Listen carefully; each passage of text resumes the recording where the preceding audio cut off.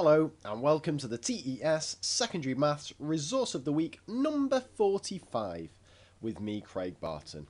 Well, thank God the end of term is finally here.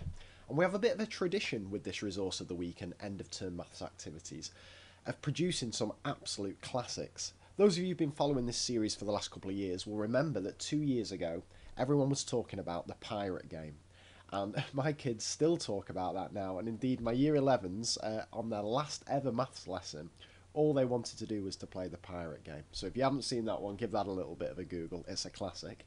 And then there was the rival to the pirate game, the lobster game, which personally I think is even better.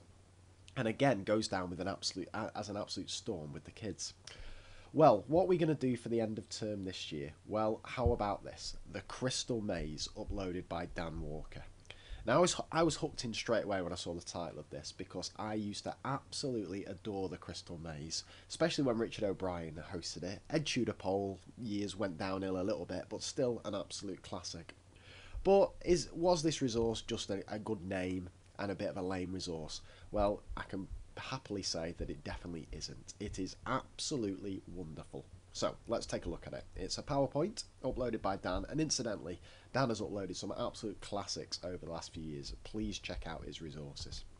Here it is, the Crystal Maze. There's your there's your opening uh, title sequence, just to just to bring back those memories. Full instructions there about uh, getting the kids into teams of four. Um, what I love about this, absolutely brilliant. I was thinking, how's he going to split this up? Is it going to be number, algebra, data shape? Nah, no need for anything like that. Gone for Greek, Egyptian, Indian, and Chinese. So straight away, the kids are getting a bit of a history of our uh, wonderful subject as well. So let's have a look at the old uh, the Greek zone here. Uh, kids can choose a physical, a skill, or a mystery challenge. Um, this one is the physical challenge, I believe here. And they have to use straws and Play-Doh to make an icosahedron it has 20 sides, so an absolutely brilliant way to, to kickstart this. Then let's have a look at the uh, the skill one. So the skill one uh, links in a bit of Euclid's uh, way of finding prime numbers. So a, lovely little challenge there using the first eight uh, using the first eight primes. And then uh, for our mystery, let's work out the area of a triangle using a very interesting formula there that the, probably the kids haven't seen.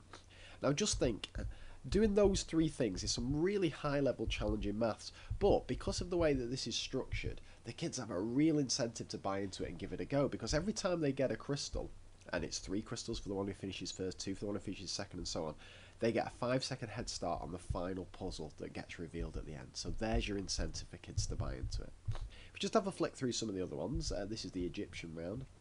So uh, working out uh, the volume of a pyramid and then using the, the nets to, to find it. Absolutely brilliant stuff. Then we have some classic little Egyptian fractions to get the kids thinking about. And then we have uh, Egyptian way of representing numbers, so a couple of little puzzles there for the students. And all the uh, all the answers are presented; they're all animated um, on the PowerPoint. Then we have um, Indian. That's absolutely brilliant little puzzle that for the kids to battle the way through. Just loads and loads and loads of stuff. Then we move on to the Chinese section. We got some lovely tangrams. Uh, we have some uh, a lovely sharing uh, puzzle for the kids to get their head around. and what about this? A lovely little maze for the kids to do as well. And it's just absolutely wonderful stuff. There's all your crystals, all your nets and stuff, all your materials you could ever want to have provided. And that maze presents the final challenge, and that's where the kids can use all their crystals to buy themselves loads of time for that.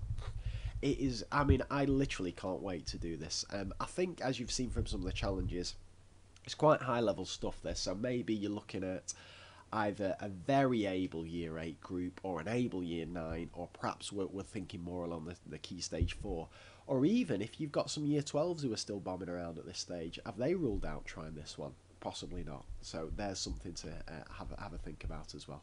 So a wonderful end of term resource the crystal maze. It certainly fits um, alongside the, the lobster game and the pirate game in my book and yeah that's it for our uh, resource of the of the week feature uh, for this year um, all the resources of the week are stored um, on TES, and I've also put them on my Mr. Barton Maths blog as well, so you've got loads of ways to access them.